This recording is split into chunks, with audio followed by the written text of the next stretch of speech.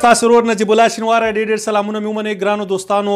د افغانستان کرکټ بورډ وس اعلان وکړ چې د کمال خان بن په ویاړ به دویمه لوبه تر سره کیږي په کونړ کې دې نه مخکې پرهان کسکر یوسفزي په خپل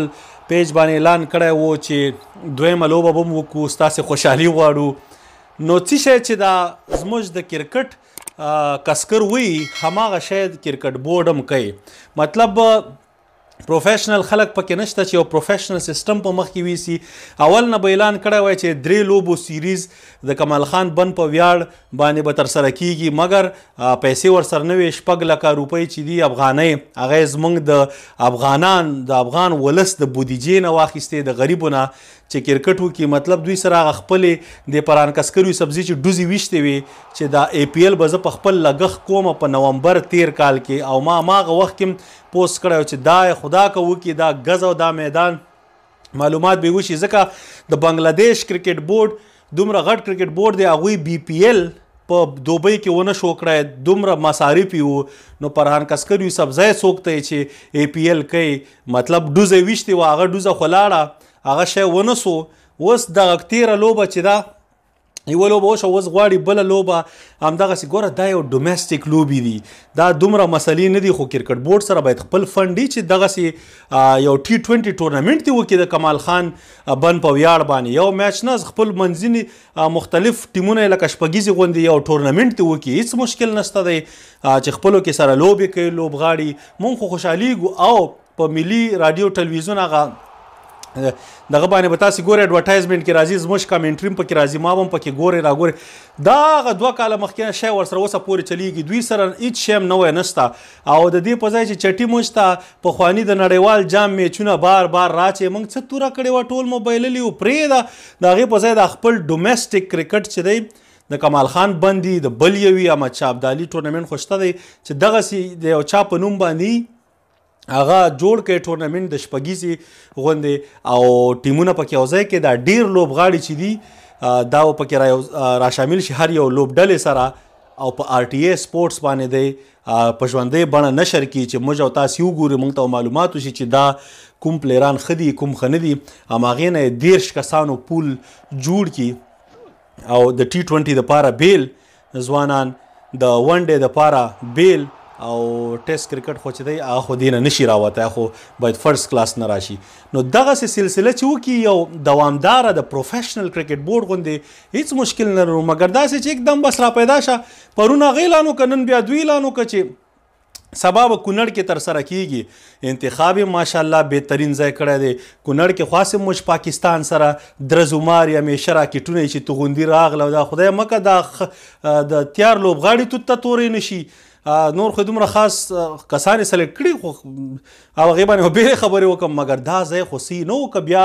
کمال خان بند چې دی مونږ خو ګوره کرکټ د مینې محبت جنګ دا لوبه ده دې کې باید جنګ نه وي داسې باید ونه سي چې ته دې نه داسې کنټریورشل دغه جوړ کې چې اوس هرات ته لاړ شي او هرات کې ورته دغه شروع کې د کمال خان بند نو دا ښه کار نه دی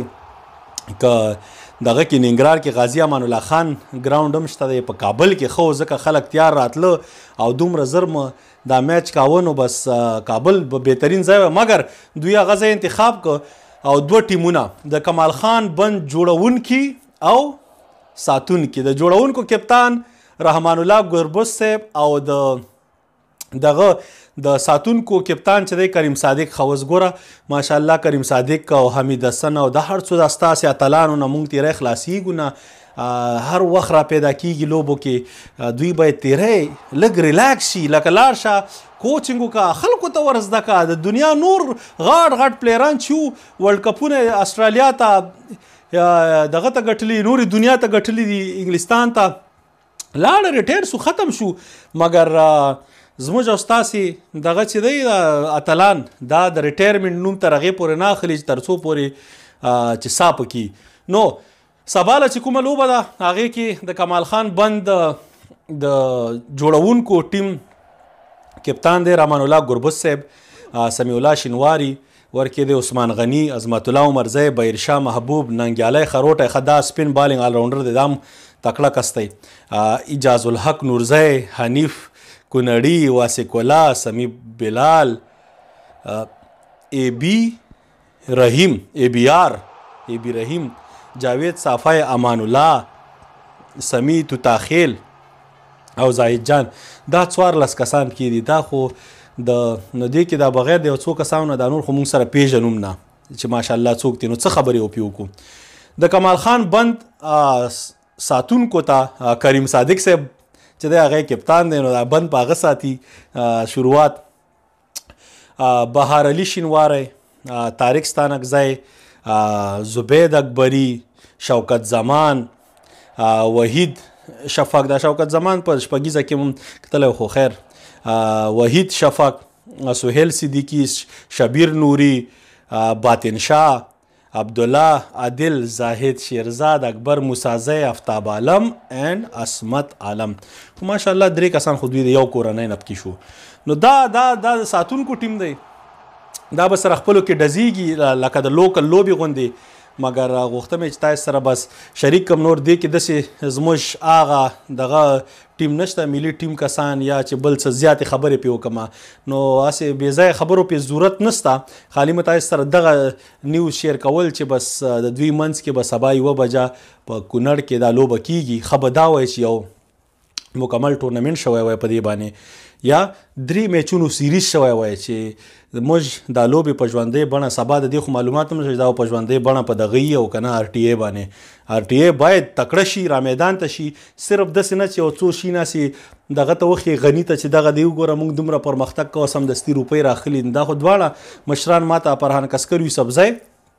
او دا میاخیل دا ما ته همداسې ښکاري چې خالي روپۍ راشکولو ته راغلي لندني پارټنران دي نو خدای دې وکړي چې دا لوبه دوی لپاره هیڅ مشکل نشته چې براډکاسټ کی لایف چې تاسو کتون کې تینې خوند واخلئ او څه به مشته معلومات مو شي چې دا پلیران څنګه دی او څنګه نه دي خاص تاسو ټولو د کتلو نه شیر کولو نه ډیره مننه زموږ فیسبوک افغانستان کې چې کوم کتون کې دي ما ته معلومات ته په یوټیوب کې د دغه مشکل دی الته د انټرنیټ مشکل هم دی یوټیوب هم پنه پلی کېږي بل په انټرنیټ هم په یوټیوب باندې ډېر زیات مصرفېږي نو تاسو ته ما فیسبوک پاڼه چې دا هغه جوړه کړه ټولو ته جوړه ده فیسبوک پاڼه هم شته شینواری سپیکس د نجیب الله شینواري کرکټ تبصرې په پښتو کې ورسره لیکل شوي دي، هغه مې جوړه کړې ده، اوس دا یو لس پنځلس ورځې کېږي، ستاسې ټولو د فالو کولو نه، شیر کولو نه ډېره مننه، په لوی الله مو سپارم، ستاسې ورور نجیب الله شینواری، خدای پامان، سلام علیکم.